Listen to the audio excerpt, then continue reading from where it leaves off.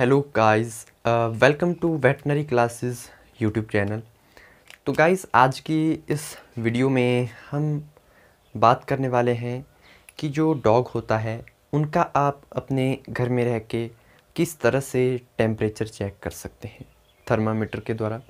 तो इस वीडियो में आपको पूरा डिटेल से बताएँगे, ठीक है?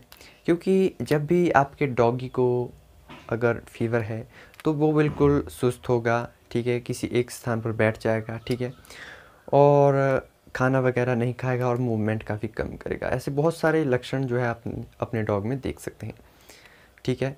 तो गाइज़ फीवर को चेक करने के लिए आप जो डिजिटल थर्मामीटर आता है, उसका भी इस्तेमाल कर सकते हैं, या फिर ये जो पारे वाला थर्मामीटर होता है, ठीक है, इसके द्वारा भी आप अपने डॉग का टेम्परेचर चेक कर सकते हैं। तो आइए जानते हैं किस तरह से जो है डॉग के टेम्परेचर को चेक किया जाता है। वीडियो पसंद आती है तो वीडियो को लाइक करें, शेयर करें और सब्सक्राइब करें। तो चलिए शुरू करते हैं। लेने के लिए आप चाहे मर्करी वाला थर्मामीटर यूज़ करें या फिर डिजिटल वाला। डिजिटल वाले से आप फारनेहाइट में ही जो है डॉग का टेम्परेचर ज्ञात कर सकते हैं। अगर आप मर्करी वाला यूज़ करते हैं तो इससे आप फारनेहाइट सेल्सियस दोनों तरह से डॉग का टेम्परेचर ज्ञात कर सकते हैं। तो गाइज़ इसमें क्या होता है कि एक पारे की लाइन होती है जो शायद आपको यहाँ पे दिख रही होगी। तो यहाँ पे जो पारे की लाइन है, ठीक है तो आपको कुछ इस तरह से झटका देना है ताकि जो पारा है वो यहाँ नीचे तक आ जाए, ठीक है।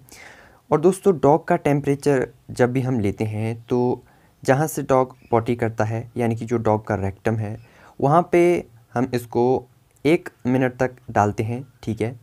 और जो वॉल होती है अंदर रेक्टम की, वहाँ पे ये टच होना चाहिए, ठीक है।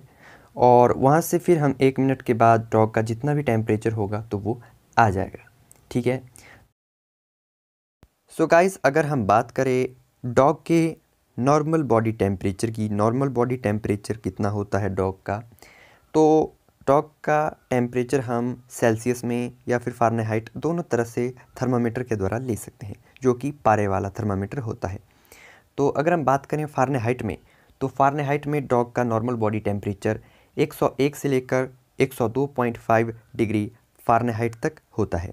अगर हम बात करें सेल्सियस में तो सेल्सियस में डॉग का नॉर्मल बॉडी टेम्परेचर 38.3 से लेकर उनतालीस डिग्री सेल्सियस तक होता है। ठीक है?